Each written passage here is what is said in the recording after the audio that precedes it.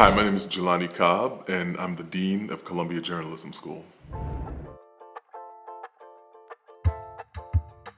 I pursued this position because I felt like this was a historic time in the world and consequently in journalism.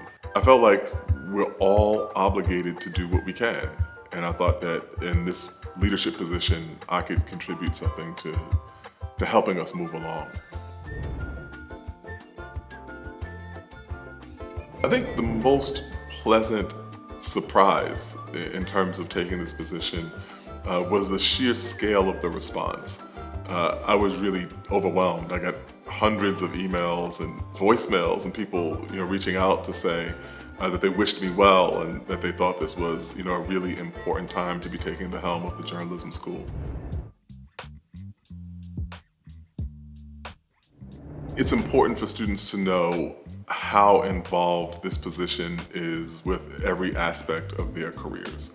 Uh, from the point at which an application reaches our door uh, to the deliberation that goes into exactly what we will be teaching uh, when that student arrives and the kind of Columbia extended care package uh, that follows you out the door.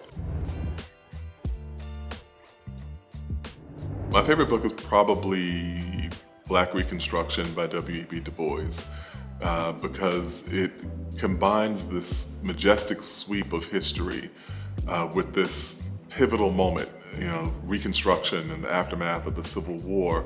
Uh, and then it winds up being prescient in so many ways about uh, challenges that have arisen in American society in the almost century since the book first came out.